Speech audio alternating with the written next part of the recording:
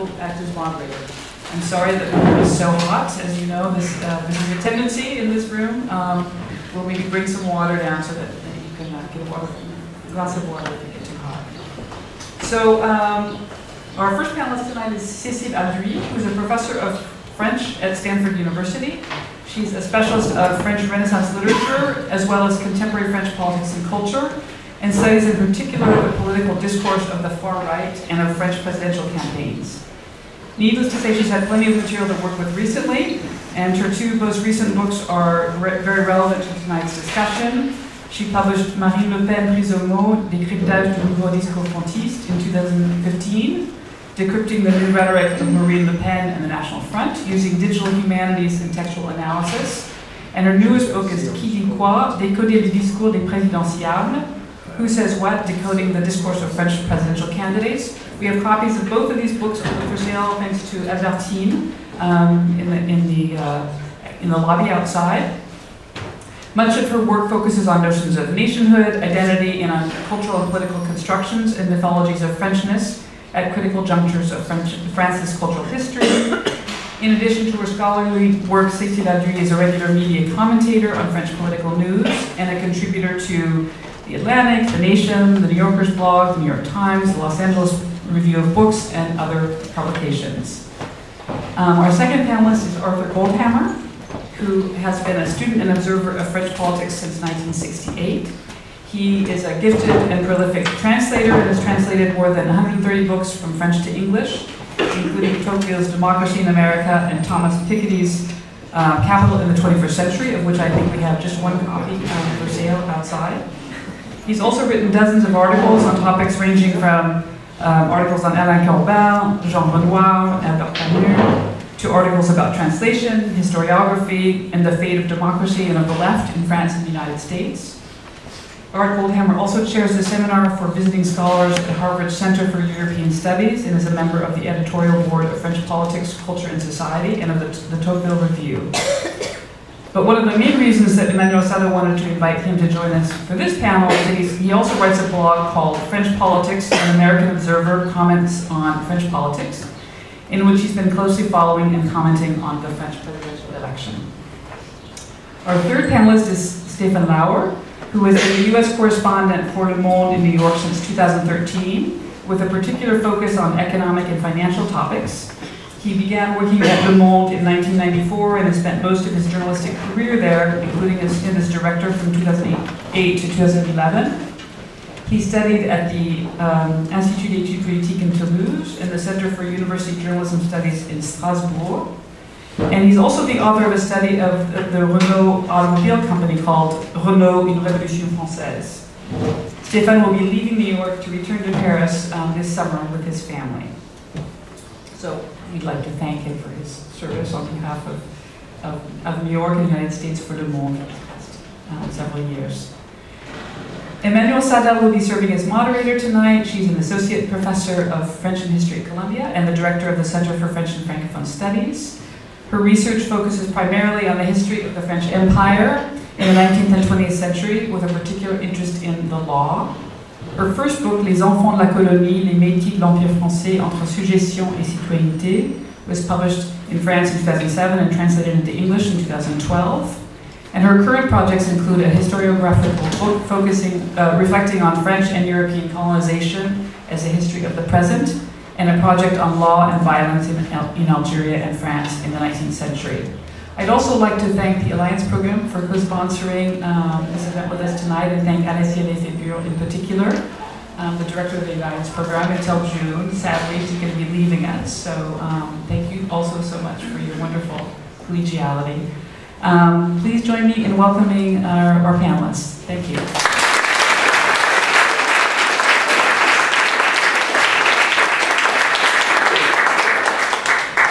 And uh, thank you very much, Shani, for making this uh, event possible. Is this okay? Can you hear me? Yes? Uh, so we uh, I decided to organize the, uh, the, this um, event as a, as a real roundtable.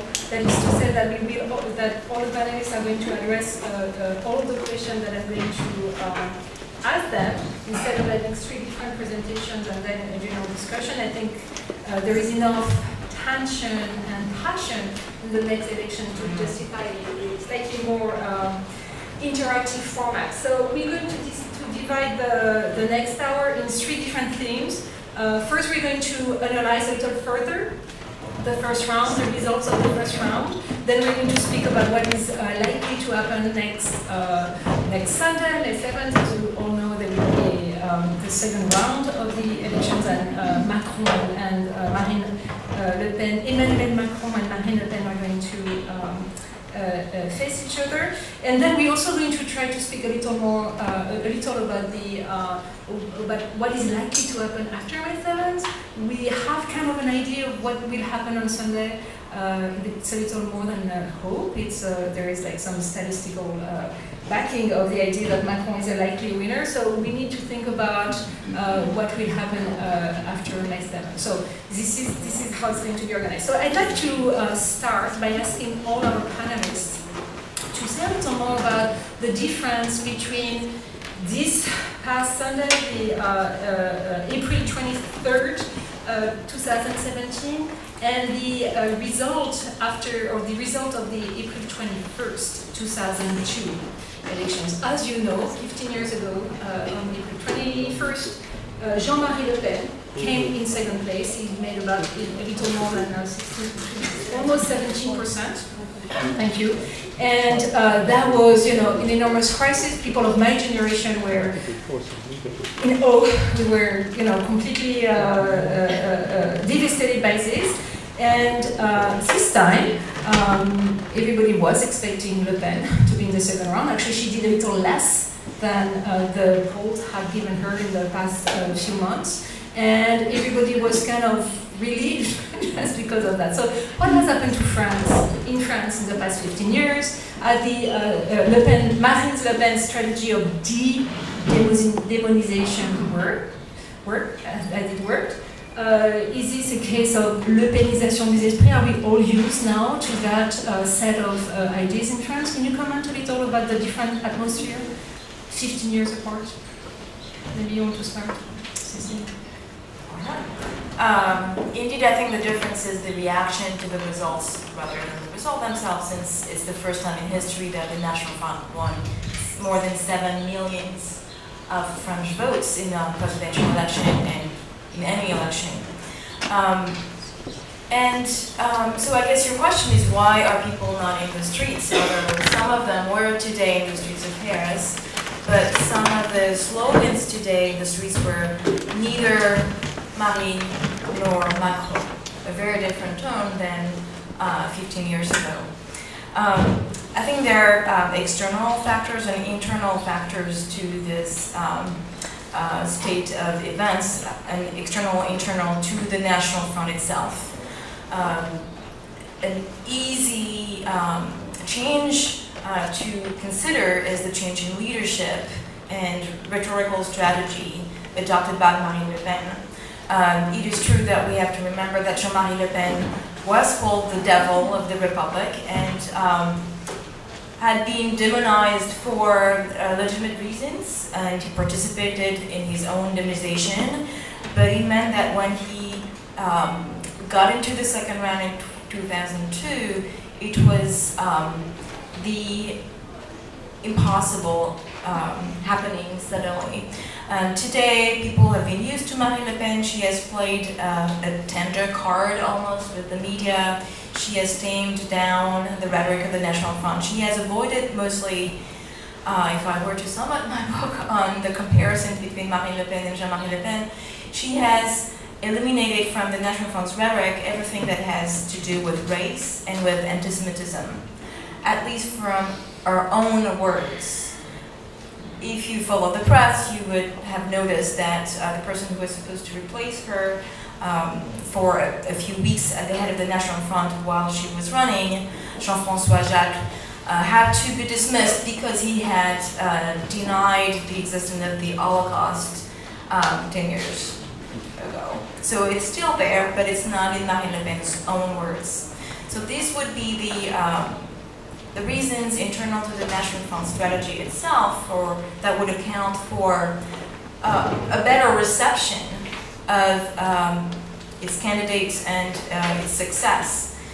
But there are also, and they might be less visible but much more important, external factors. And these would be the fact that a great deal of the rhetoric of the National Front that used to be uh, considered um, um, xenophobic or racist 15 years ago as being adopted by other political personalities. Um, among them, uh, Nicolas Sarkozy, uh, for some part, is responsible for um, legitimizing um, a, a, number of rhetorical cliches. For instance, the association of Roma population and um, insecurity, criminality, and um, um, delinquence in general, um, and also for raising the issue of immigration versus national identity and establishing a minister that would associate the two terms as if there's a question here that needs to be addressed.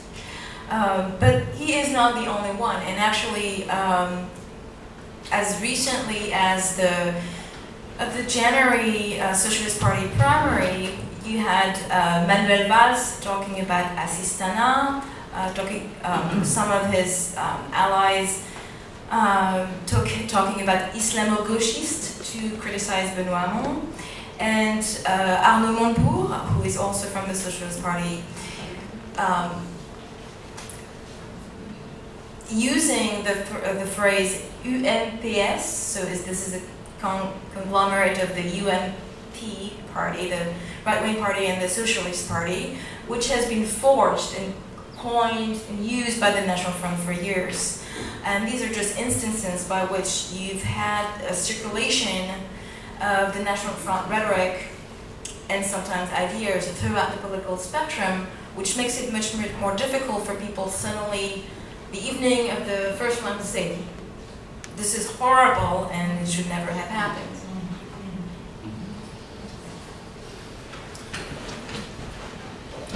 Je pense qu'il y, a, deux éléments pour comprendre ce qui s'est passé euh, entre 2002 et, et, et, 2017. Le premier d'ordre euh, historique, c'est-à-dire euh, qu'il faut se souvenir ce qui s'est passé le 21 avril 2002 lorsque Jacques Chirac remporte l'élection présidentielle.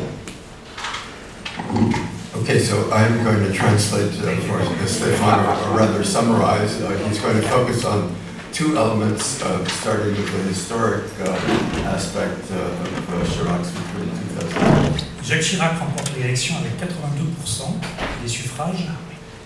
Et il faut se poser la question, qu'est-ce qu'il fait de ce plébiscite dans, dans, les, dans les mois qui suivent?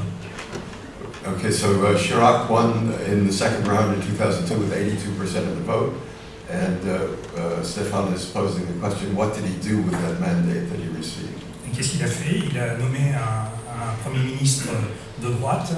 Euh, il a rassemblé euh, euh la droite traditionnelle avec le centre pour former euh, l'UMP, pour faire un grand parti à droite. Mais durant euh, le, quinquennat qui suit, il ne donne aucun signe euh, d'ouverture vers tous ces électeurs qui se sont mobilisés pour faire front face au Front National. So, uh, immediately after the election, he nominated a right-wing prime minister. He uh, brought together elements of the right and the center to form a vast right-wing party, the UMP, uh, and uh, I can't read my final note. What was your final point? Uh, and he didn't give any sign of overture to uh, all the voters who cast, uh, cast a ballot for him, but were not right-wing supporters. Et le deuxième euh, événement fondateur, c'est euh, euh, le, vote en France contre le traité constitutionnel européen en 2005. Euh, c'est un nom assez large, et qu'est-ce qui va se passer euh, Deux ans plus tard, Nicolas Sarkozy euh, fait semblant de renégocier un nouveau traité qui sera euh, copie conforme. Okay, so uh, then in 2005 there was the uh, uh, national re referendum on the uh, revision of the constitutional treaty uh, defining the obligations of EU member states. France voted no. Two years later, Sarkozy pretended to renegotiate this treaty and then put it before the parliament, but nothing had really changed. Donc aujourd'hui, l'éclatement du front républicain, il se construit sur ces deux frustrations de l'électorat. C'est-à-dire qu'on entend beaucoup dans l'électorat de gauche, et notamment les gens qui ont voté euh, Jean-Luc Mélenchon, euh, on ne se fera plus avoir cette fois-ci. Uh, So there was tremendous frustration among voters uh, as a result of uh, uh, these reactions to uh, the mandate that uh, Chirac received in uh, 82, and particularly among Mélenchon voters this year. You hear uh, the slogan, uh, "We're not going to be had again." Le deuxième élément, donc premier élément historique, deuxième élément peut-être plus idéologique, c'est qu'il il faut bien prendre conscience que en France, mais ce n'est pas uniquement euh, une, euh, un, un phénomène français, c'est que le sentiment anti-européen, le sentiment euh, anti-mondialiste, le sentiment anticapitaliste, euh, avec la crise financière, a pris énormément d'essor en France.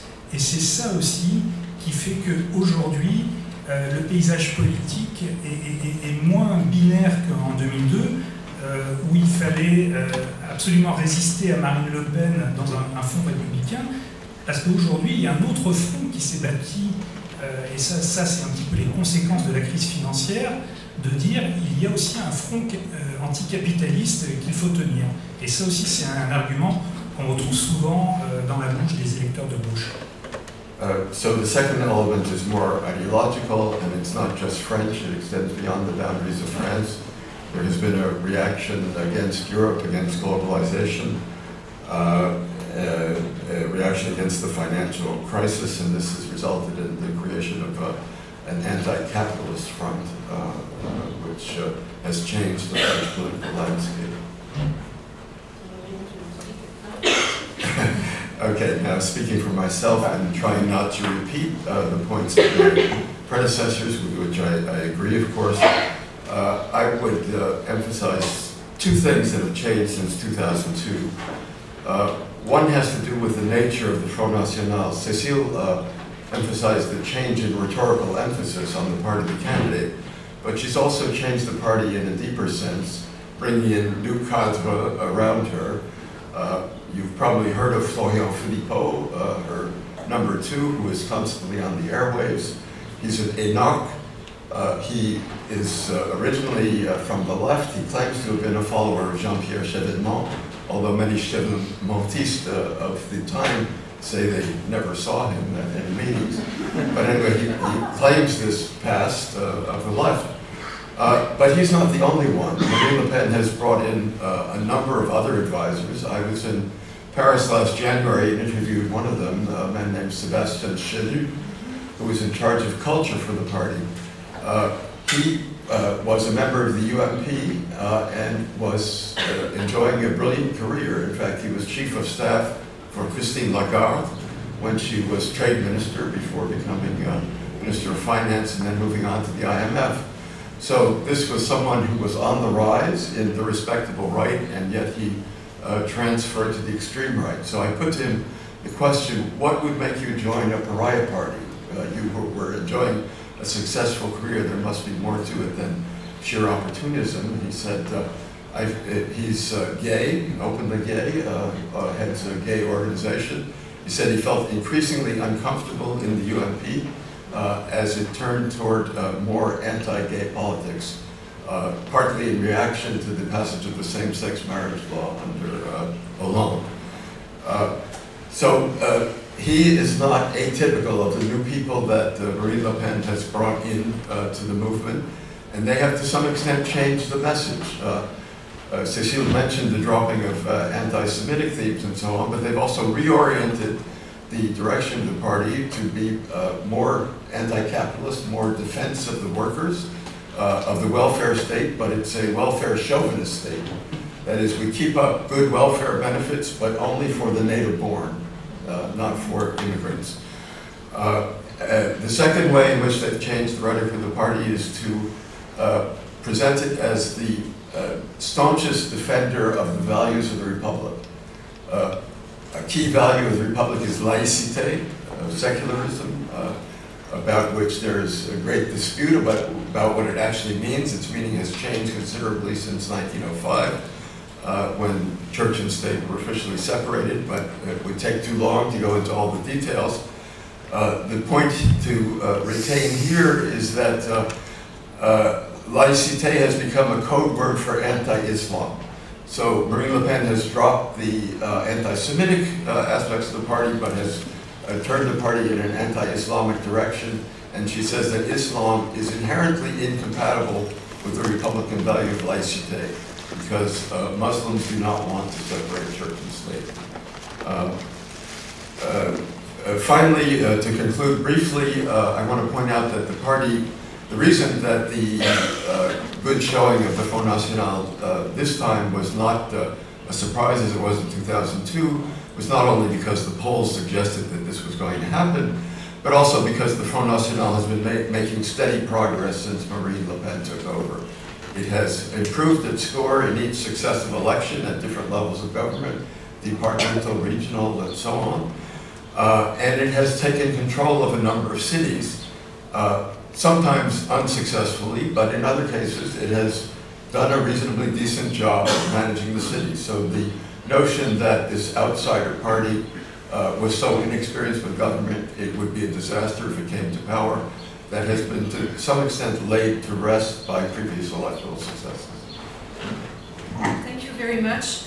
Um, before um, trying to understand what's going to happen next, I have one more question about the uh, about the first round.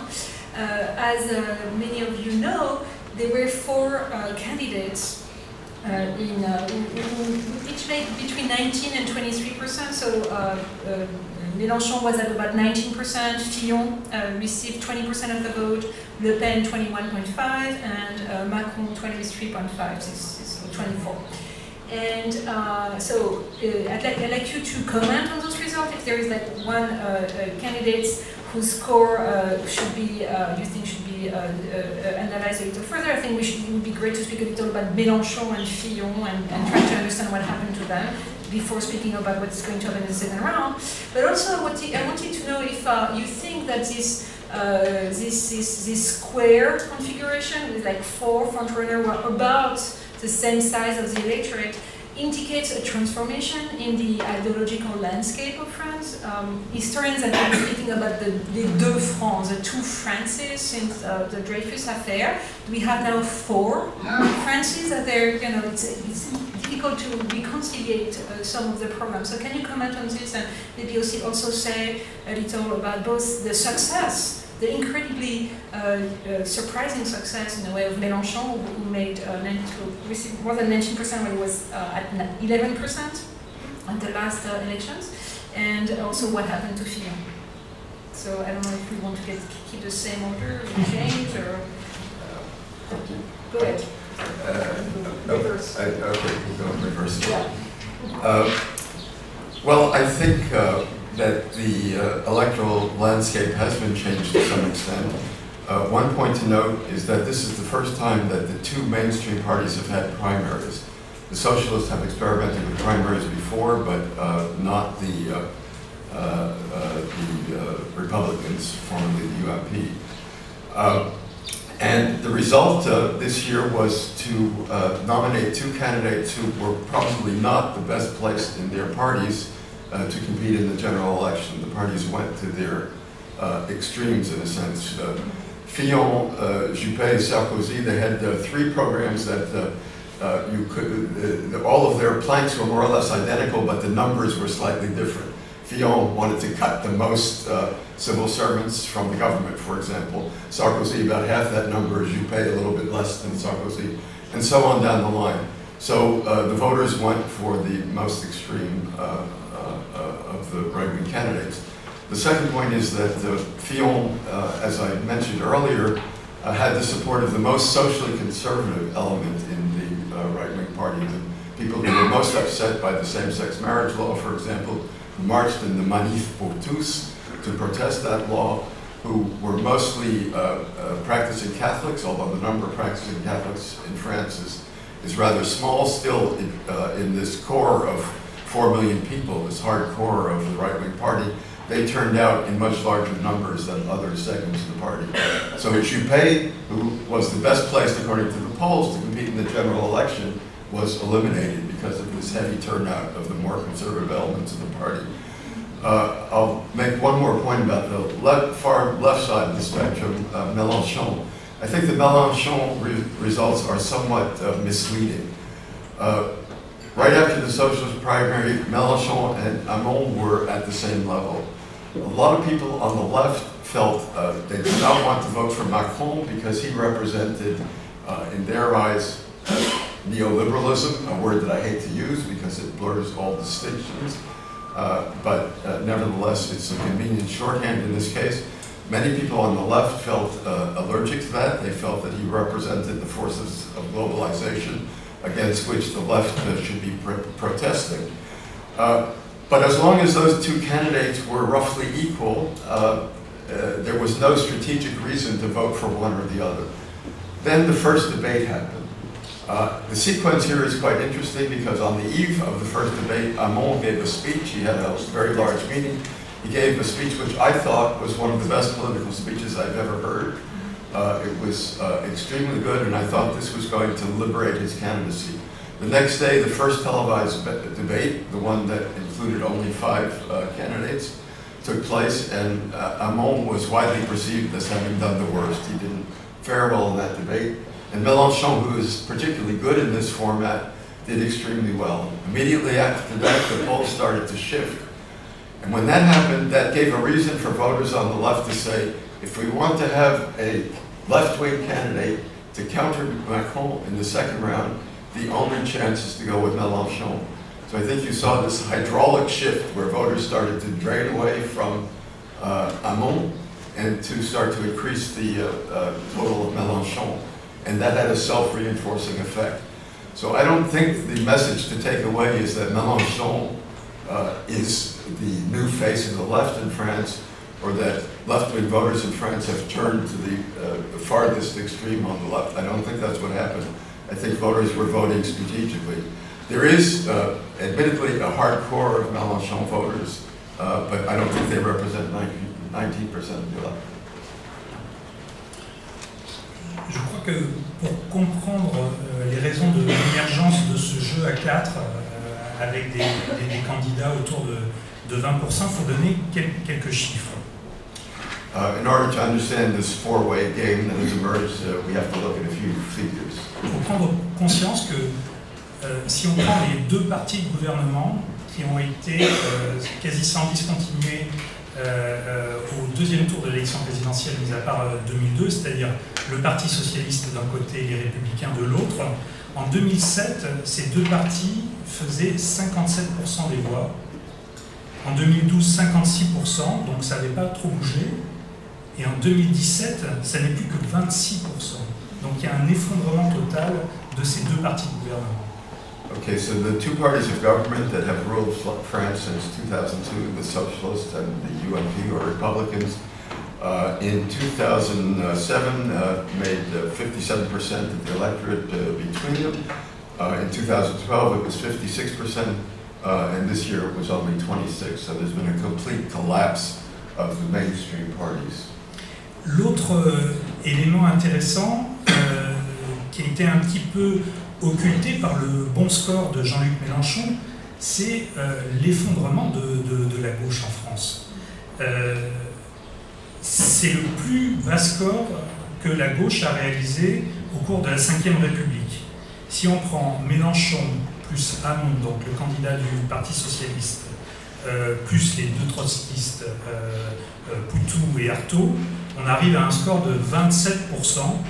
Euh, il faut se souvenir qu'en 1969, lorsque Gaston Defer euh, n'avait fait que 5% des voix, qui était le, candidat euh, de la SFIO, euh, donc du Parti Socialiste, on était au-dessus des 30%. Donc c'est vraiment historique cet effondrement de la gauche. Okay, so there's been a historic collapse of the left in France uh, on top of this general collapse of the two governing parties. Uh, if you add up the scores of uh, all the candidates of the left, the socialists, the Mélenchon, the two Trotskyists, uh, Poutou and Marteau, Uh, They uh, together accounted for only 27% of the electorate. Uh, Compare that to the score that Gaston Defferre made in uh, uh, 69? Uh, in 69, uh, when he uh, uh, represented the SFIO, the Socialist Party of that time, uh, scored only 6.5%. The left-wing candidates together scored 30%.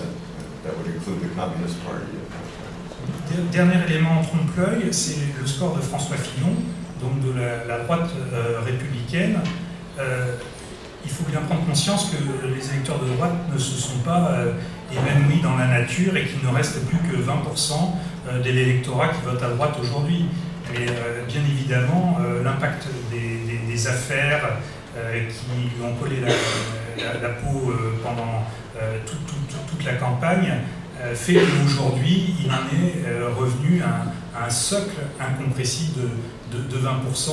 Mais je pense qu'au moment des législatives, on va voir un, parti républicain euh, euh, bien au-delà de, ces 20%. Donc ce jeu à 4, euh, là aussi, il faut, un petit peu re- relativiser les choses. Uh, Okay, so uh, score of 19% is a bit misleading. Uh, The right-wing voters have not just disappeared, uh, they were driven away from Fillon's candidacy by the series of scandals that uh, continue to be revealed over the course of the campaign, Uh, and that accounts for uh, his low score, which represents a a kind of in- incompressible base of the right. Uh, But uh, the right is going to come surging back in the legislative election. Yes, so um, I'd like to, to go to the last part of the question, which was how do we understand how to situate the four major players that we have arrived at um, for this first round? Um, it- it's becoming extremely confusing. If you've heard uh, the campaign, um, all of the major candidates have said they are outside of the system that even Fillon is the rebel of the system. If you've seen a picture of him, you will wonder that word for him. Um, they're all so out of the system, against the system, Macron included. Um, and on top of that, you have uh, two populist candidates, Jean-Marie Le Pen, Jean-Luc Mélenchon et Marine Le Pen. Um, and I'm going to, to, to develop why it matters. Uh, they're both um, against uh, the, Europe, the European Union as it stands and have an extremely violent vocabulary against it. They have been extremely violent against the media and they have invoked both the people, this abstract archetypal notion, um, to um, discredit uh, the elites. And I'm putting all of these words in quotation marks. But you also have other um, affinities um, within those four major players. Um, for instance, um, when you ask people why, what are the main stakes that they consider when they vote, National Front voters say first immigration. 69% of National Front voters say immigration is the top priority for us when I go vote for Marine Le Pen. No other party has such a high number for immigration as a top priority. But Fillon voters too rank immigration as the second most important issue just after unemployment. Uh, National Front voters also state terrorism as a major stake for the election, and Fillon voters as well is the third most important stake for Fillon voters. The difference is that uh, people who vote Fillon are also extremely concerned about the debt um, and economic consequences of the debt for France's uh, economic growth. And National Front voters don't, don't care at all about debt, uh, the debt crisis in France. Only 5% of them think it's an important thing. So what I'm trying to say here is that you have, for all of these candidates, affinities and differences, and one way to represent it is not on a continuum from far right to far left, actually, but as um, a square, a logical square that you can find in, in philosophy or linguistics. Um, and you would have on one axis um, positions on the economy, and on the other, positions on cultural issues, and among these I would include immigration, uh, gay rights and minority rights in general, what political scientists in general call the difference between ethnocentrist positions and um, liberal, I guess would be the right word in English, positions on cultural and social issues. And so the um, differences are you open to um, for the economy, market economy, and as a consequence also the European Union, which favors market economy across Europe, and globalization in general, or are you against it? This is the economic axis. And the cultural axis, are you against or in favor of an open society that welcomes immigrants, minorities, gays, favors equality among men and women, and so on and so forth. And if you build this square, um, you would have one candidate who is opposed both to globalization and market economy in general and on the global level, and also to um, an open society which favors uh, or, or, protects minorities, it's Marine Le Pen. And you also have one candidate who is universally um, liberal in the American and French sense, who favors market economy, the European Union, globalization, and an open society in terms of, of cultural values, and that's Emmanuel Macron. And they are the exact antithesis one from the other. But then you have Fillon, who is against immigration, very strongly against immigration, and very strongly against uh, minority rights, including gay rights, and very conservative in cultural issues, but open to the European Union and to market economy and to globalization. So it be on the other corner. And Fillon, uh, sorry, Mélenchon is open to minority rights, social issues, cultural issues, but opposed to market economy, the European Union, polarization. So you see why you can divide this square along different axes and see how Marine Le Pen wants to address Mélenchon voters saying we have a common enemy. Hyper-capitalism is how she calls it, European Union as it stands. Um, money, uh, les puissances d'argent. Um, and since they have used the same rhetoric about invoking the people as the legitimate source of sovereignty and legitimacy, they share already a rhetoric to attack this, uh, this enemy. But on the other side, uh, she can also talk to female voters, and actually, the widest um, overlap between electorates right now is between Fillon and Marine Le Pen voters. Um, election after election, between 20 and 30 percent of the Republican Party, if they have the chance to choose between a National Front or a left candidate, go to the National Front. Because they are exactly um, similar on immigration and for the most part on social, um, societal issues and cultural issues. So that's, so here, if you think of it, is that we, you, we're used to thinking in terms of left and, and right, in terms of this continuum uh, on one axis. And actually within both big government parties, the UMP slash Republican and the Socialist Party, these fractures were starting to appear specifically around globalization, market economy, how far you go, or, or, the place of the welfare state. But now it's out in the open. And, and with someone like Hamon um, disappearing from the radar, it's very clear that the fault lines are not anymore for or against welfare state actually, but this combination of two axes, cultural and economical. And it's really important to remember that National Front voters are in their huge majority motivated by immigration and security as an issue and third only unemployment. So even though Marine Le Pen has developed a social chord to her um, argumentation, people who care the most about um, uh, social inequalities or unemployment or even purchasing power do not go vote National Front actually. Right. it's, it's when you really believe immigration is a big issue that you vote National Front, not when you think the biggest problem for France is the economy. Thank you. So now we are um, facing the um, difficult issue of squaring the square or reducing the square to a two uh, to a, a tennis court with, with two opponents. Um, so um, could you maybe go um, a little deeper into the programs of both candidates and explain to us exactly what is at stake? Uh, on Sunday, is this uh, just you know Europe versus non-Europe versus versus national sovereignty?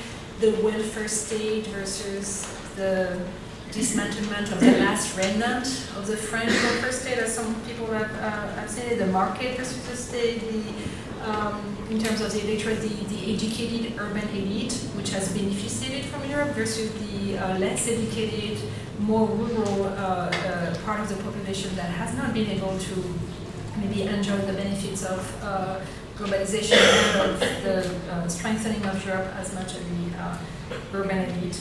Uh, is this neoliberalism versus fascism, as uh, some people would say? What, what's can you can we try to understand uh, maybe beyond those dichotomies that you know kind of the easy dichotomies that you find in the French press today, in the invectives, in the very strong, you know uh, exchanges on Facebook,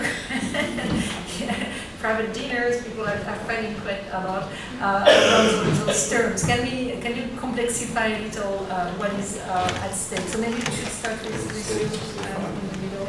Alors, le problème, c'est que les choses se sont énormément complexifiées depuis 48 heures, depuis le, le ralliement de Nicolas Dupont-Aignan, qui se situait euh, dans le paysage politique entre euh, le Front National euh, et la droite républicaine, l'UMP. Uh, so things have become much more complicated over the last 48 hours since uh, Nicolas Dupont-Aignan, the candidate of uh, Debout la France, uh, which situ was situated between uh, the FN and the Republicans, uh, has rallied to uh, Marine Le Pen, and that has changed the complexion. Ce n'est pas tant par le poids euh, qu'il représente, parce qu'il a fait 4,7% je, crois des, voix au premier tour, mais c'est surtout qu'il opère un, changement euh, radical dans le programme de Marine Le Pen, dont euh, la plateforme maintenant ne fait plus de la sortie de l'euro un, préalable, ce qui était jusqu'à présent le, pilier de, son programme. Okay, so uh, the uh, presence of uh, Dupont-Aignan uh, at the side of Marine Le Pen has changed things a lot, not because of the weight of his votes, he scored only 4.7% in the second round, uh, but because of his uh, ideological positioning, so that leaving the euro and leaving the European Union, which had been centerpieces of Marine Le Pen's platform, have now been set aside. Uh, and I will editorialize here almost uh, shockingly without uh, uh any, any, explanation. Any explanation. Number one thing. Basically said I, I was uh, never in favor of the single currency, but I've always been in favor of a common currency, whatever that means. Um, so this happened overnight, and suddenly she's a different candidate, or pretending to be a different candidate. Donc ça, ça pose des questions stratégiques parce que Marine Le Pen a très bien compris que la sortie de l'euro était un, un, repoussoir pour une majorité de Français. 70% des Français sont contre une sortie de l'euro. Uh, right, so uh, 70% of, uh, of, the French were against uh, leaving the euro, uh, and that uh, created a barrier for the Le Pen vote and probably put a ceiling on that vote. But now that that uh, ceiling has been punctured by this uh, ideological shift, uh, we don't know if it uh, will still prevent people from voting. Et ce, que l'on a euh, du, du, mal à comprendre maintenant, c'est euh, en termes d'application de, de, de, son programme, parce qu'une bonne partie euh, de son explication du financement des mesures qu'elle voulait prendre, comme le retour à une retraite à 60 ans, des mesures très, sociales, tout le financement tenait autour euh, d'une sortie de l'euro euh, et on allait se défaire de ce carcan européen euh, pour reprendre des marges de manœuvre qui permettraient de financer son programme économique.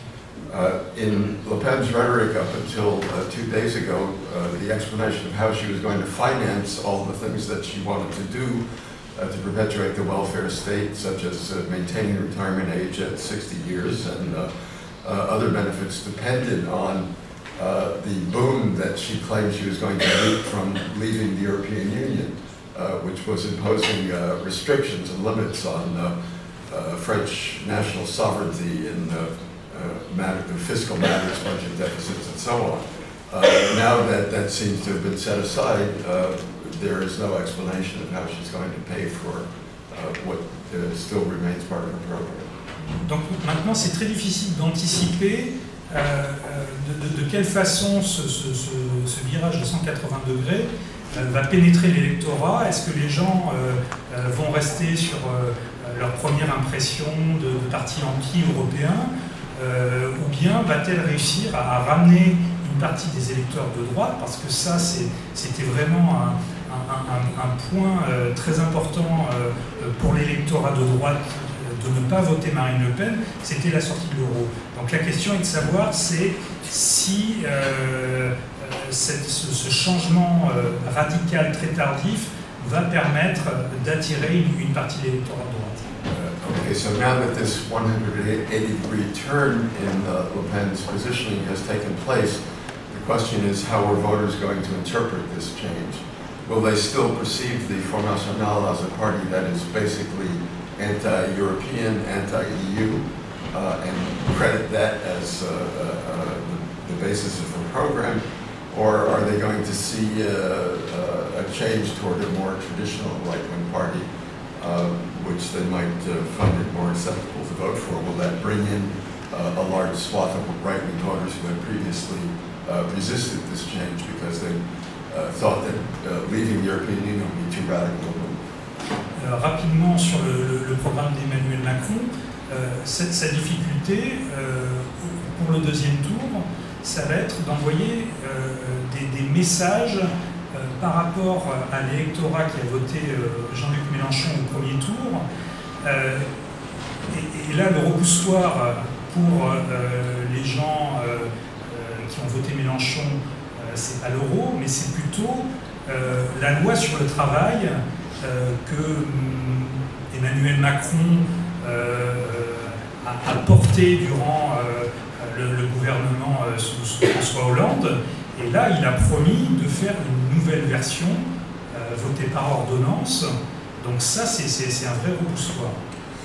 Uh, So the question for Macron is uh, just how attractive he can be to Mélenchon voters who are particularly resistant to uh, the reform of the labor code, uh, some steps toward which were taken under Hollande with uh, uh, input from Macron, and now Macron wants to go even farther.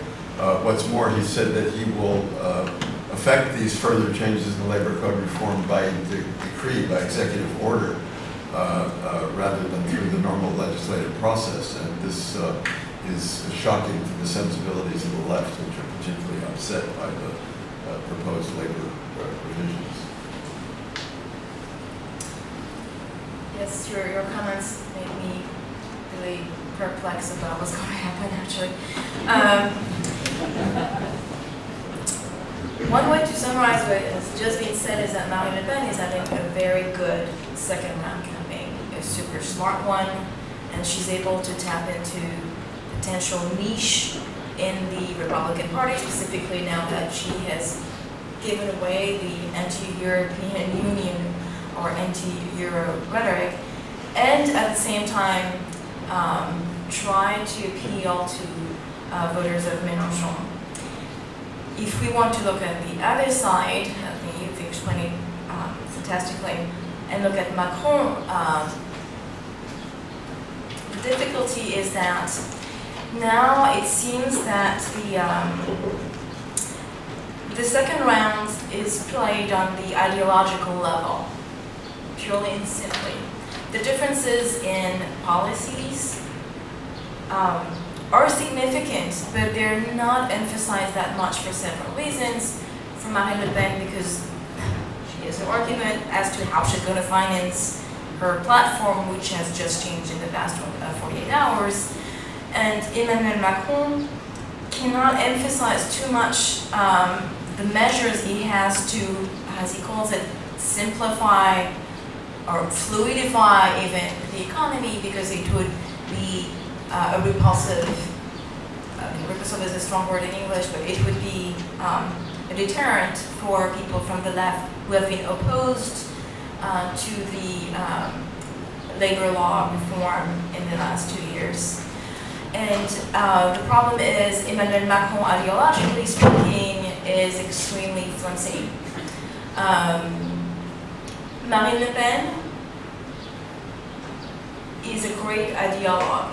She's consistent. She offers a simple, legible, understandable narrative of why we're here now, what are the problems of the world, and what are the solutions. She has a narrative about France's past and present, and she can um, rally her supporters about values. And people vote for values and determine themselves for values in, the in a big part. National identity, civilization, culture, even laïcité, which is, is taken as a way to defend women against Islam. My, uh, pardon, Emmanuel Macron has been all over the map on the theological spectrum. I've been studying his discourses as well.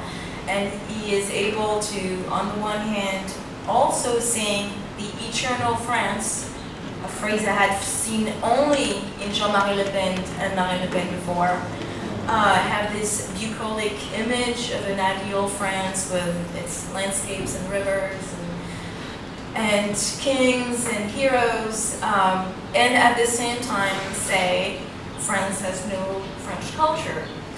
And it's extremely easy to uh, tear apart Emmanuel Macron's ideology because he has professed to have none, but be a pragmatist. His advantage is not ideas or values as much as energy, enthusiasm, optimism. It's the register of the speech and the, the, the capability to mobilize and galvanize people by speaking to them and letting them do things uh, and become militants of his own movement, that he's been able to, to do politics differently. But now he's in front of someone who is extremely structured, ideologically speaking. And in front of front of her, he's rather at a, as a, at a disadvantage, actually.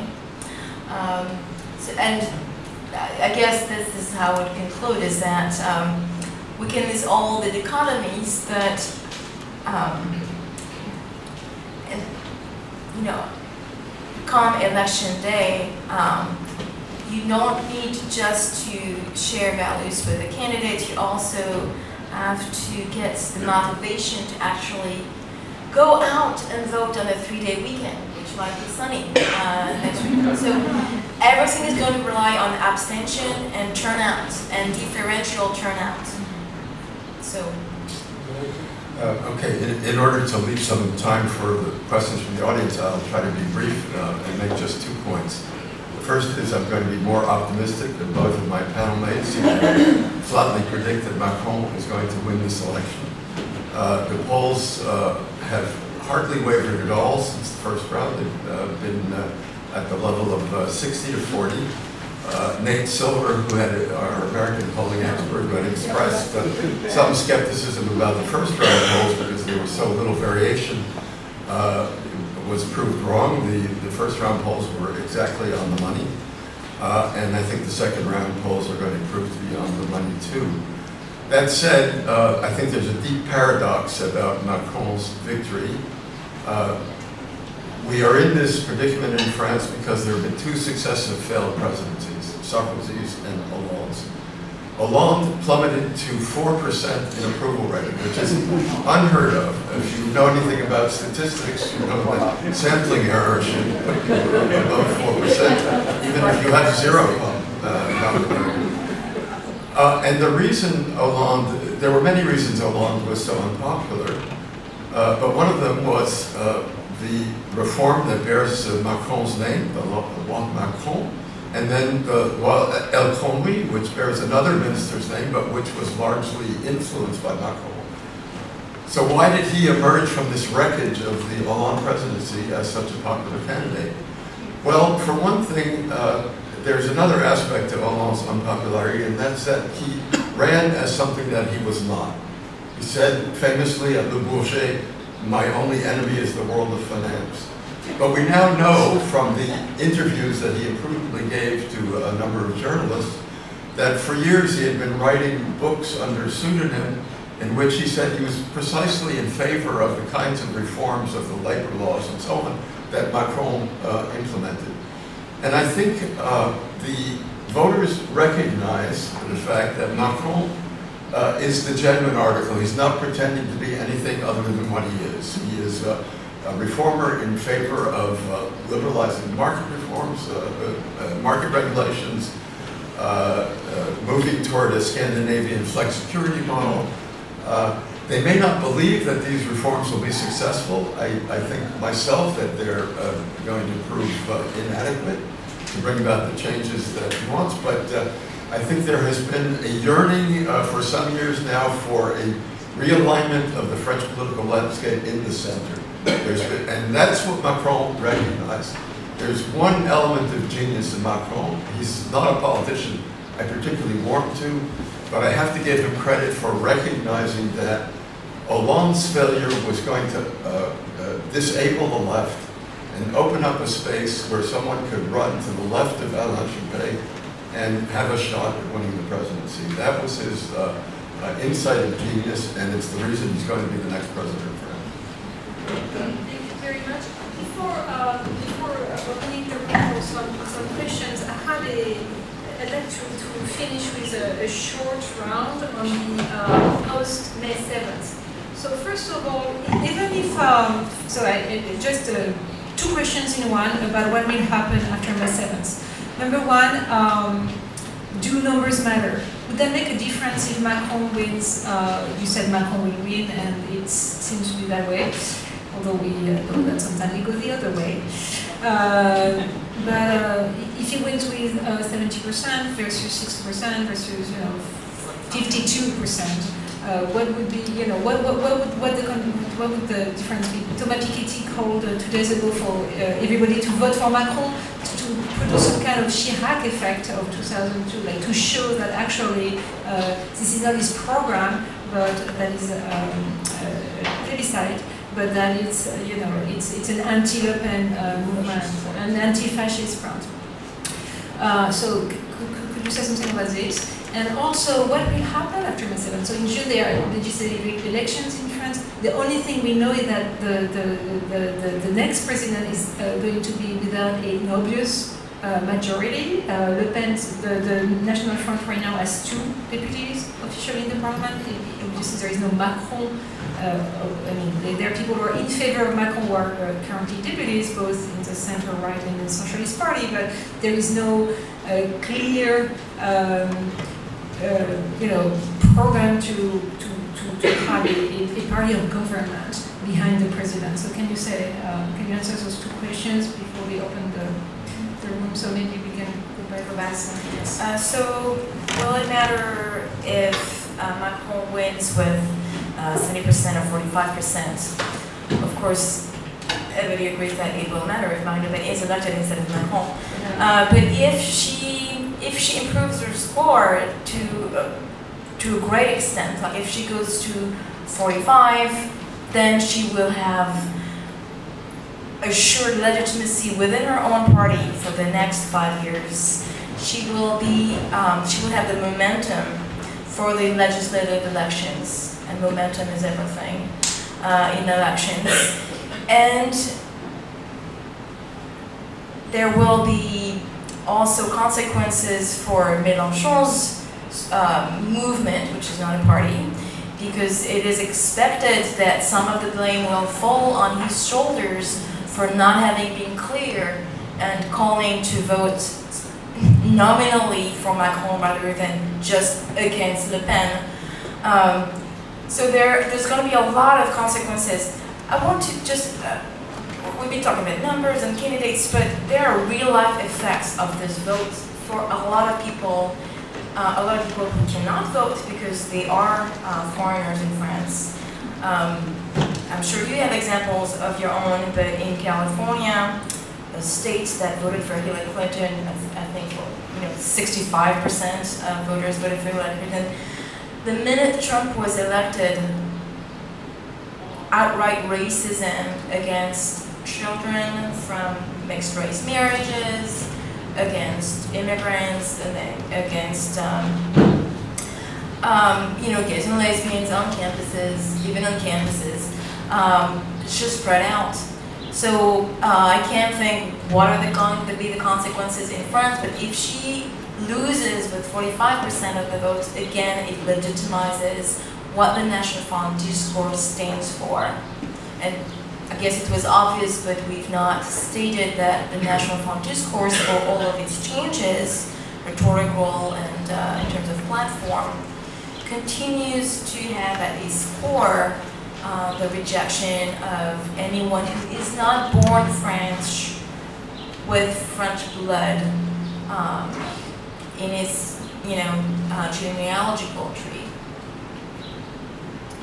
Euh, sur, sur la première euh, question, euh, je pense qu'il y a un, un enjeu euh, externe de réputation, Euh, c'est-à-dire que si euh, on est plus proche de 60-40 que de euh, 52-48, euh, ça donne une autre image de la France ici aux États-Unis, en Grande-Bretagne, et, et c'est un autre message qu'on envoie à, à travers le monde. Okay, so there's an issue of France's image abroad, uh, and it will make a big difference uh, uh, uh, are. Maintenant, euh, peut-être qu'un petit score ne serait pas si désavantageux à Emmanuel Macron, euh, parce que justement, il ne se retrouverait pas dans la situation de Jacques Chirac. Euh, là, comme ça serait la deuxième fois qu'il y aurait ce scénario, il serait obligé de donner euh, des gages à tous ces gens qui se seraient mobilisés pour lui. Et s'il est à, à 54-55%, il peut dire vous n'avez pas voulu voter pour moi, euh, je continue ma route, j'ai une plateforme électorale et je l'appliquerai euh, sans faillir. So uh, a low score is not necessarily a disadvantage for Macron. He's not going to be in the same situation as Chirac. Uh, if he uh, scores around 54 or 55 and wins with that total, then uh, he'll say, I'm going to continue with my program. This is what I ran on. I was elected, but this is where things stand, and now I need your support to go forward. Le, scénario des, législatives, est, très compliqué à, deviner, mais si, jamais il y a une dynamique Mac- Macron, euh, même s'il n'a pas, euh, comme ça a été toujours le cas euh, dans la Ve République, à savoir que le président a dans la foulée une majorité au Parlement, euh, même si ça n'est pas le cas, euh, on peut assister à une nouvelle configuration de- de- des institutions de la Ve République, à savoir euh, qu'il serait capable de réunir autour de lui une coalition qui ne serait pas tout à fait une majorité présidentielle, mais qui serait capable de faire des, choses ensemble. Et, moi, je, pense que c'est le scénario qui se confirme. So, uh, the the parties may not put put together a a presidential majority, but uh, uh, they will be able to put together a group uh, that uh, will define what can be done together going forward uh, in this newly defined uh, electoral landscape, Like in Germany. uh, like in Germany. So, uh, I'm glad you brought up Germany, because I think that's one possibility that what you'll see is a a grand coalition emerging in the center between uh, going from the Vallsiste uh, on the socialist side to the Juppéiste on the right side, and they will coalesce around uh, Macron. Uh, Macron has very good relations with uh, German leaders. I think that's one of his big advantages coming into this election. Uh, Germany recognizes that the current situation in Europe cannot continue. The Germans are rigid, but they're not stupid. Uh, They recognize that uh, their their insistence on uh, austerity has provoked this populist reaction across Europe, and they know that they need to do something about it. They also uh, can read statistics, and they know that uh, current account deficit, trade deficit, trade surplus rather, current account surplus of 9%, 10% of GDP is unsustainable. They've begun to do something about that in allowing unit labor costs to rise. And they, all of the prominent German leaders have endorsed Macron, uh, both on the SPD side and on the Christian Democrat No, side. that's not true, but Macron got some support. A a nominal support, but Martin Schulz, yeah. Mark, Mark, but Martin Schulz uh, actually has very good relations with Macron Yeah. and uh, indicated that he would work with uh, Macron. So uh, uh, my belief is that uh, the Germans are waiting for the election of Macron as a symbol that France can be trusted. They have not trusted uh, previous French leaders, especially not Hollande. Uh, uh, and uh, they believe they can trust Macron and are willing, will be willing to make more concessions. So this is very significant. Uh, As far as the legislative elections themselves go, I think it's a total mess, particularly on the socialist side. The Socialist Party is in a shambles, and it uh, will not fare well, in my opinion, in this legislative election. It's going to be uh, uh, trying to rebuild itself internally. There will be a lot of infighting about who gets what uh, in investitures, and uh, it- it's going to be terrible. On the right side, the uh, Republicans see this as their opportunity to reinvent. They feel this election was stolen from them, uh, and they're going to try to win it back by organizing uh, effectively for the legislative elections. Now, uh, there are rivalries of ambition on the Republican side too that may get in the way of that strategy, but I think they're going to be uh, able to overcome those rivalries sufficiently to make uh, strategic agreements about, uh, uh, and they hope that they will be in a strong enough position in the legislature to be able to impose their prime minister on Macron. Uh, Macron's choice of prime minister will be crucial. Uh, he may make it before the legislative elections, he may not. Uh, there are a lot of considerations that go into this. Whatever he comes out of this election with, it's going to be a very unstable coalition. He's not going to have his own people there. He's going to have to negotiate with people who are hostile to him uh, in one respect or, or another and who don't agree with each other. Uh, so uh, he's uh, going to be uh, a president who has to be very careful or very artful or very lucky. And one thing you could say about him to this point is that he's been extraordinarily lucky. of course, luck runs out at some point. As a um, contemporary civilization teacher, I'm going to speak about Virtu and Fortuna in Machiavelli uh, to maybe explain this. So, um, thank you very much. We have covered a lot of terrain uh, in about an hour and I'm really thankful for the for the uh, panelists for their extremely interesting insights. But I think it's going to get even more interesting with a question from the public, always challenging. So. Um, Let's take that. Yes. Um, Can you stand up and, And Can you stand up and speak in the Thank you very much. Um, I want to say it's not just hate speech, it's hate crimes. And these have been documented by Southern Poverty Law Center very uh, actively. But I have sort of very three brief questions. One is uh, Le Pen's turn uh, in terms of issues pro-Europe. Uh, She may gain some lead on the right, but will she lose her base? Won't they be threatened? So that's one question. The other question, which uh, is the fear question, it works two ways. Fear of the Front National on the one hand, but none of you have mentioned misogyny. Uh, and the reason I bring that up is because, of course, we know what happened in the, in the US election. And thirdly, could you address the issue of absenteeism, which I think is a really serious issue? Uh, Well, uh, I- I- to- on the issue of misogyny, uh, I- I've given previous talks in this election, and the question has always come up, what what about uh, feminism, what about female candidates in this election? The striking thing to me about uh, Marine Le is that she's perceived uh, as uh, uh, a representative of the Front National first, and as a woman far down the list. Uh, She is her father's daughter, uh, and she's seen, uh, she's a a tough woman, but tough before woman. Uh, She has tried to position herself as the feminist candidate in the race, uh, as as strange as that may seem. Uh, But I don't think that uh, that has had a a- a great effect. Uh, If by absenteeism you mean abstention, yes, People not showing. yeah, it's a- a extraordinarily high level this year. Uh, Normally, uh, in French presidential elections, uh, abstention is, uh, is rather low. There's been a book written this year by the head of one of the major polling agencies, uh, which uh, has the title of uh, uh, Nothing More to Do with Politics. Uh, a lot of people have just turned their backs on politics entirely. Any way to estimate how high that would be? Well, the abstention rate is going to be over 30 percent. uh, It was 22 for the first round. There were fewer Well, than- yeah, I, I, I, there was speculation that it would be over thirty percent, but it was lower, so maybe I'm wrong about that.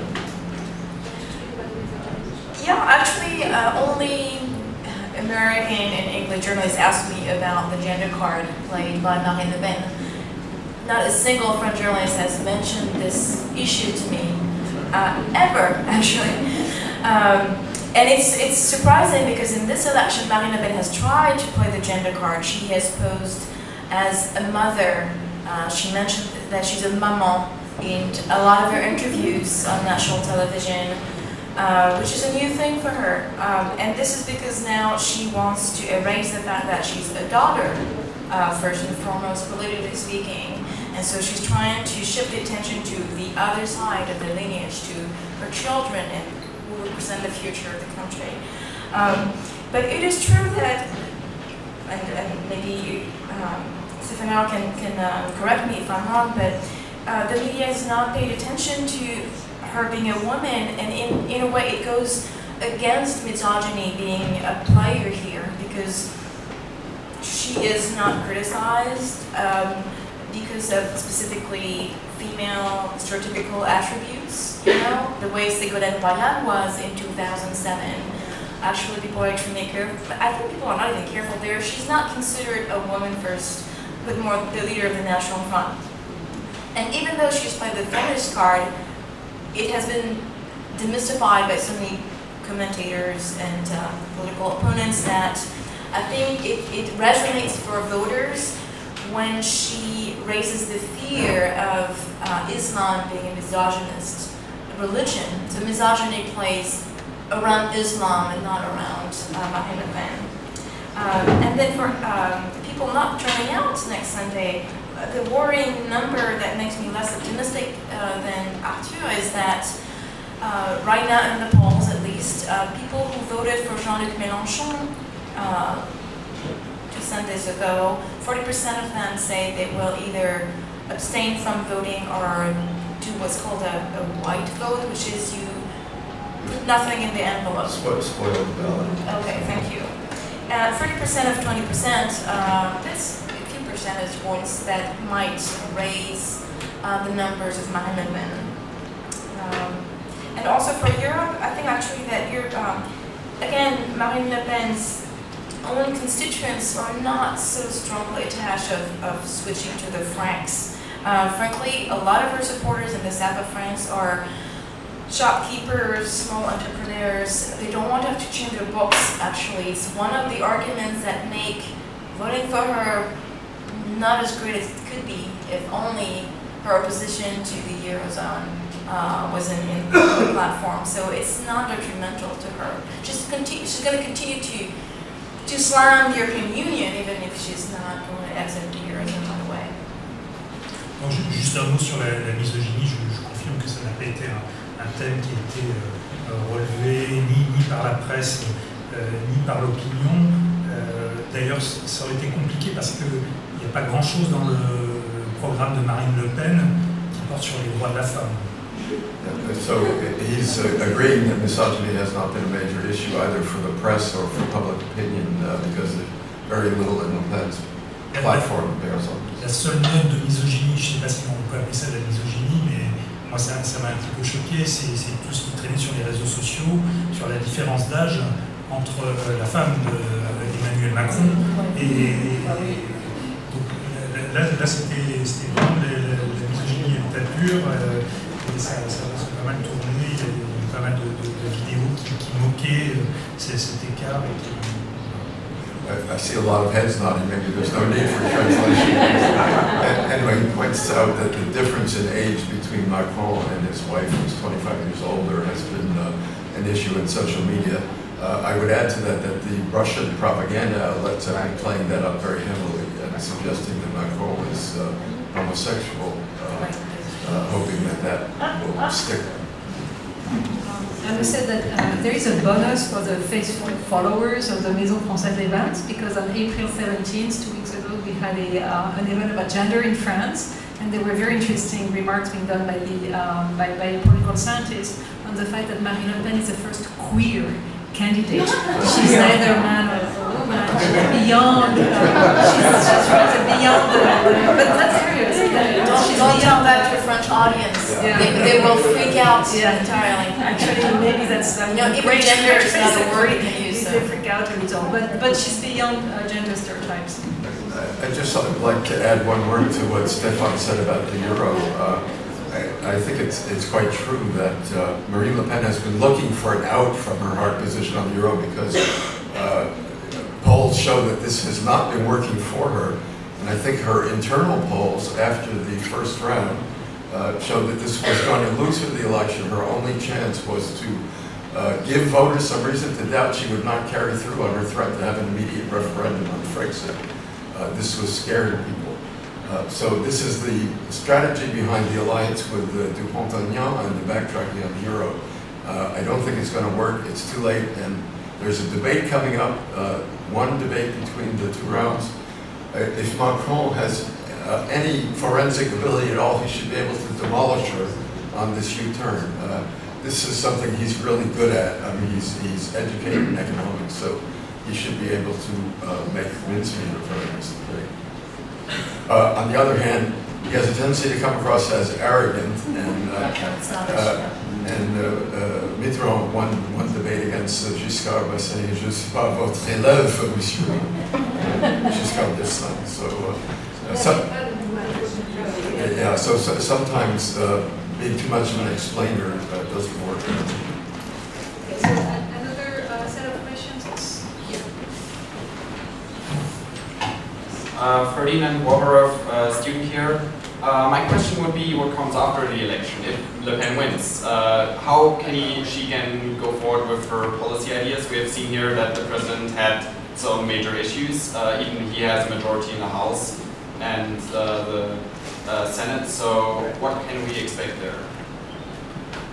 Euh, je pense qu'il y a très peu de chances que euh, dans, dans la foulée, Marine Le Pen ait une, une- une vraie majorité. There's little chance after the election that uh, uh, Le Pen will have a majority. Les, estimations lui donnent euh, 80 100 députés maximum. 48 to 100 deputies maximum. Sur, Uh, euh, 80 to 100 deputies. sur 477. Et le, le- le- le sujet, c'est de savoir si euh, le, le- le ralliement de Nicolas Dupont-Aignan va euh, donner euh, des idées euh, à des élus républicains isolés, des espèces de francs-tireurs ici et là, qui se disent bah, ça y est, on, on peut passer le Rubicon, il y en a un qui l'a déjà fait, et donc on, on va jouer la, la carte Marine Le Pen. Ça, ça c'est une possibilité. So the question is, uh, is uh, Dupont-Aignan's uh, uh, crossing the Rubicon going to uh, change the mindset of others on the right who had been uh, saying to themselves, it's impossible to join Marine Le Pen. Uh, Now, if someone has done it, maybe we can do it too. Also, she has promised to do a constitutional revision, which would be approved by referendum. So her idea is to bypass the Congress to be able to apply some of her platform. Yes. I still have, I I still have, as one would say in Soif, to know something more about Macron. In this debate, and in the New York Times, as in our campaign, the focus has been on the, you know, more exaggerated candidate, Trump, and now Marine Le Pen.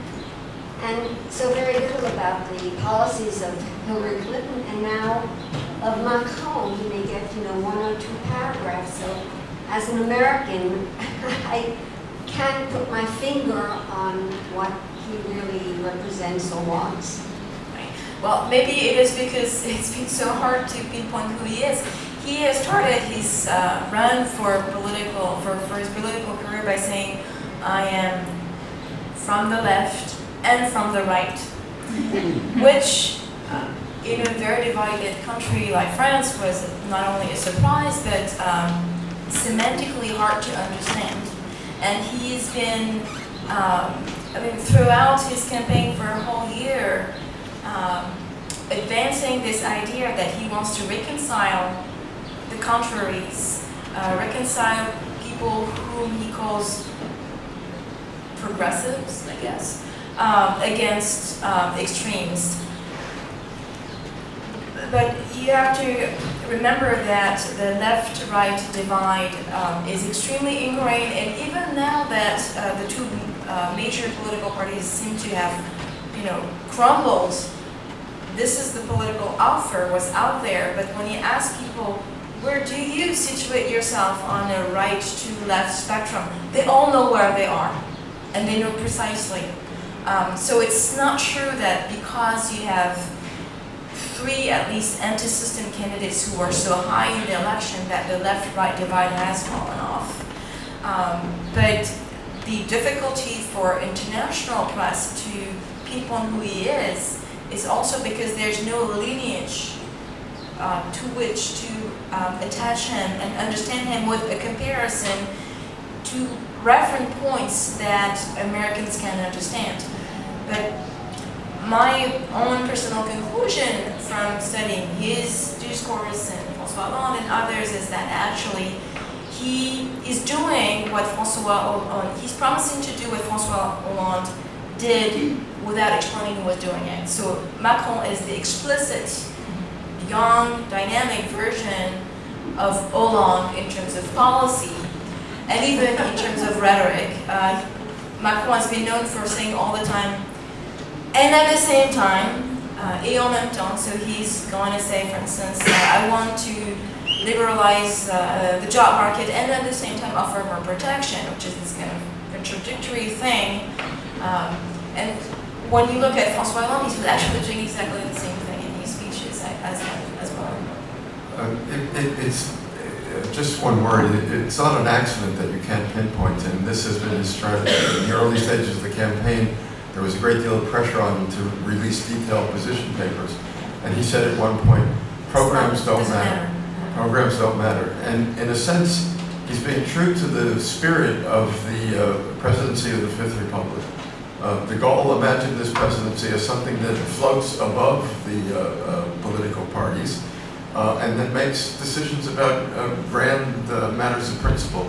I think uh, Macron sees himself in that role, but he also sees himself uh, as a deal maker, someone who has been a negotiator, worked in the private sector, knows how uh, negotiations work, uh, and you don't tip your hand in negotiations. So uh, if you don't like that, then you can't vote Macron. That's, that's who he is.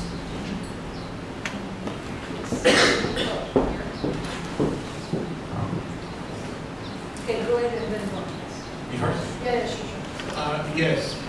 It is known that Macron uh, got his start in the Rothschild Bank, which is a very uh, indicative marker in contrast with his relationship as the Minister of Economy of the Socialist Party.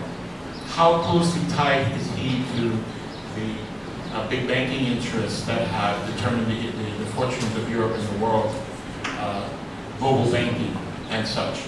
It seems that that is a more determinant marker of his, what his policies may be than, than his record.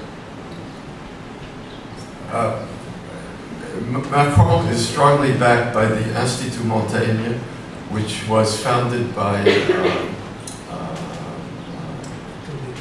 uh, Claude Bébéar from the AXA insurance uh, company. On the other hand, Henri de Castries, who is now in charge of, uh, the head of the board of directors of the Institut Montaigne, uh, is backing Fillon. Uh, uh, and de Castries took over the uh, AXA from uh, Bébéar. So, yes, he has ties to this world. Uh, he has a lot of backing from financial interest. Uh, but I don't think that means he is uh, there, he's subservient to big capital, lieutenant of capital, as we used to say in uh, Marxist days. Uh, he um, uh, has uh, carved out a, a unique career for himself, uh, moving back and forth from uh, government uh, service to private sector.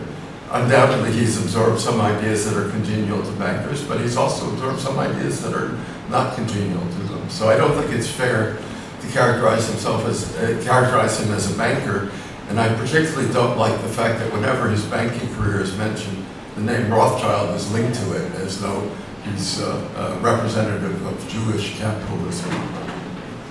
Puis distingue Emmanuel Macron de, de- de François Fillon, c'est qu'il a toujours proposé une sorte de donnant-donnant, euh, c'est-à-dire euh, euh, faire, faire des réformes, mais aussi donner des, protections aux gens pour ne pas les, laisser au, au gré de la mondialisation.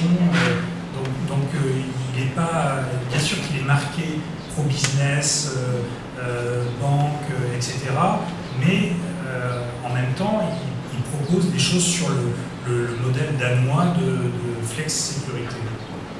So his conception of reform has always been uh, tit for tat. You make some concessions to business, but in exchange you get some agreement from them on uh, protections to be accorded to those who are left behind by globalization.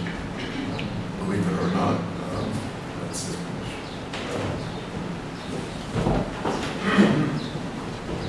So France is unique for having had uh, explosions and massacres in its streets, and I'm asking to what degree uh, the difficult balance between public order and civil liberties is an issue in this campaign. Well, it was today, I think, actually, in France, there were demonstrations uh, against Marine Le Pen, uh, but they were taken over by anarchists groups who fought the police and had to be dismantled with, you know, anti-riot units. Um, I think we were expecting more violence between the two rounds uh, with a very high Marine Le Pen, and the surprise was the absence of surprise at the public with her being so high. Um, that being said, in the last two years, there have been a lot of um, extremely violent uh, demonstrations and, and violently repressed demonstrations, uh, both against the labor law reform, uh, also student uh, unions being brutalized. So coming into the campaign, there were fears that with such a volatile society on the border of exploding, uh, one direction or another could be the match uh, that inflamed the social uh, situation. It's not, it's not happened yet. Mais ce qui peut se passer, c'est un, troisième tour social euh, après, après l'élection, si euh, une partie de la gauche, et d'ailleurs les, syndicats euh, ont commencé à se positionner comme ça, euh, en disant si euh, Emmanuel Macron passe en force euh, via des ordonnances, il y aura des manifestations à l'automne assez mal sur le plan institutionnel. So there's been talk of a social third round uh, if uh, Macron tries to uh, make labor code reforms by executive order, then the unions will uh, take position against that. Uh, I, I just wanted to say one thing about this policy area because I think it's a good uh, example of uh, Macron's tendency to have en même temps positions. On the one hand, he made a very bold statement about uh, Angela Merkel's uh, generosity in opening the borders of Europe to Syrian refugees. He said she saved the honor of Europe. Uh, one can't be more forthright than that. On the other hand, he says he will continue the state of emergency as long as necessary. He'll be tough on terrorism and so on. So this is uh, an example of his uh, having it both ways. Uh, one doesn't really know what he'll do. And one last point, I was going to answer to the question about uh, what will happen if Le Pen is elected. I think uh, you, you'll see something more than a social third round then. I think you'll actually see violence in the streets and, and resistance to this regime. It's not going to be like Trump taking over the United States. Uh, France has uh, a long history of uh, uh, not accepting that kind of change. Question here, yes?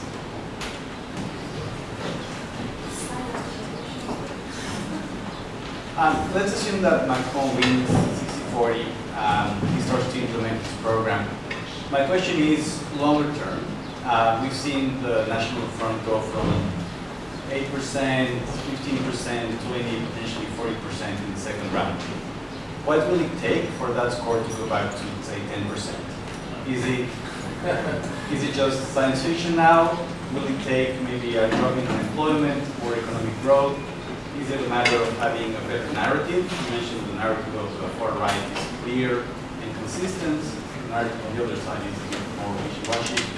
Or do we need maybe an external shock that unites the country to fight against Russia or something else? What do you think is the more likely path to uh, going back to low scores for the far right?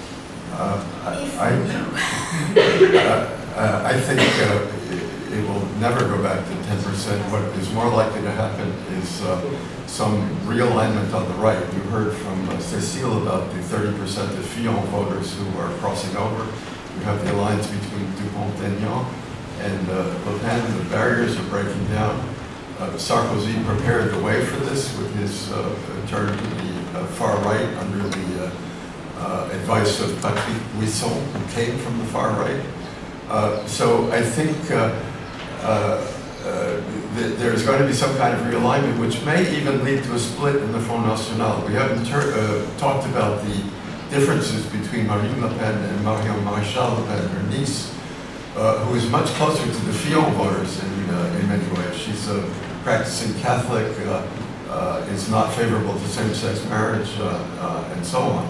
Uh, if Marine Le Pen does really badly in this election, uh, Marion might make her move sooner, but I think Marion was preparing to uh, uh, vie for the leadership with her aunt at some point in the future.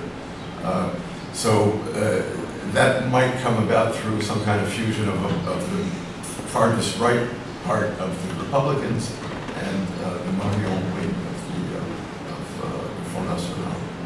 I think that for the National Front to go back to maybe not 10% but 50%, we need to have Marine Le Pen in power at some point and see the consequences. I mean, she is presenting herself as, a virgin who's never been in power, who is uncorrupted, even though she has six judicial affairs um, on her trail. And for people to, like, it is true that for a long time people um, voted National Front to protest against the statu quo, and today too, um, there's still a part of the vote which is an anti-establishment, anti-governing party uh, vote. So to, I mean, in the regional election, there was already this question, should there be a Republican front against the National Front in the north and in the south to prevent Marine Le Pen, respectively, and Marie Maréchal Le Pen from being the, um, uh, what do you call it, the, the chief of the regions. And I think there was a sound argument uh, which could have been made to say, well, let the people have the choice they really want and try it out and see how it plays out to have a National Front leader at the head of six million people, which would be the size of a, a region. Uh, although, of course, today now it would be 65 million people who will be taken hostage. Uh, but I don't believe that it can go down to 10% just by um, economic um, embellishment. Uh, we actually, I think, are a country where there's at least a 15% incompressible far-right electorate who believes in the National narrative. Um, in Spain, they had worse unemployment, worse consequences from the financial crisis, and there's zero percent for the far right. So I think political culture plays a role. Je crois, je crois qu'effectivement, la marée ne va pas se retirer du jour au lendemain. Euh, au premier tour, elle a eu plus de 6 millions de voix, 6, 7. Euh, au deuxième tour, si elle est à 40%, ça fait 12 millions. On passe pas de 12 à, je sais pas, 1 ou 2 millions. The uh, tide is not going to recede overnight, uh, going from the first round to the second round. She's picking up a lot of votes, uh, and uh, that, those are not going to recede.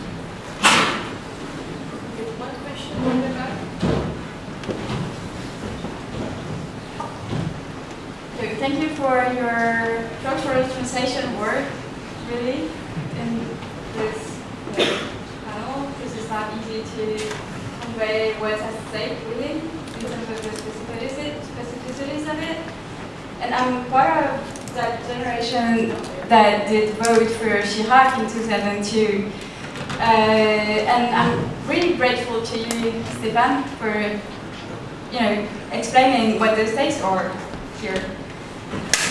And I wonder how you read Mélenchon's silence about the second round, and also not just about Mélenchon's silence, but how that relates to what you that diagnosis as a failure of the left. Like I'm totally I have no stakes there. I, I just want to hear what's the relationship between that silence and Son, son- son- son silence, son silence, il s'explique. euh, euh, c'est- ce que je disais tout à l'heure euh, à, à propos du fait que, que le- il n'a pas envie de s'engager pour Macron à partir du moment où euh, plusieurs fois, euh, euh, et notamment François Hollande qui déteste par-dessus tout, euh, et, et pour lui, Macron, c'est la continuation de Hollande. Donc dire voter Macron, c'est au-dessus de ses forces. Yeah, I think there's also uh, some kind of electoral strategy here. Jean-Luc Mélenchon honestly did not expect to have 19% six months ago. And now he has managed to build a very strong force outside of political parties that gives him legitimacy to go into the Congress elections with his own candidates and impose on his super small ally now, the Communist Party, almost what he wants. And since he knows that his electorate is extremely diverse and um, comes to him for different reasons, including total revulsion against government parties and therefore Macron, saying, okay, now that I have galvanized you to be to to think you are a strong, independent, intelligent force, I'm going to wash this away and tell you what to do, would be to lose some potential voters for two weeks, two months from now.